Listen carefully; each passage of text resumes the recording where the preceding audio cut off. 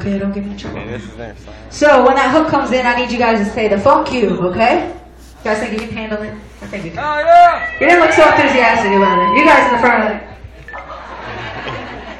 we got this. All right.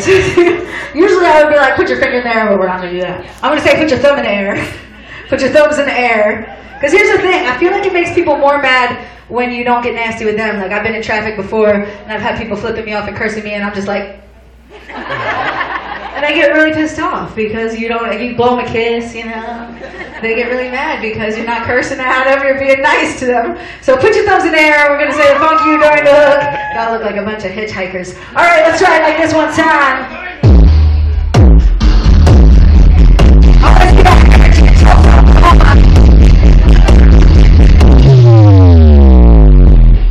You know when I'm city, you know what's up.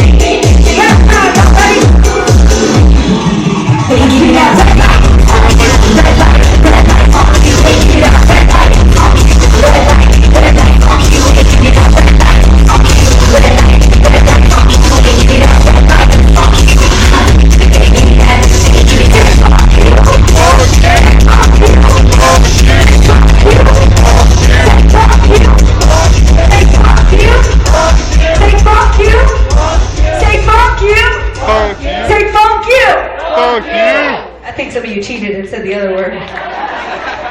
I've never been so stoked for a crowd to say funk me before. So here's the thing.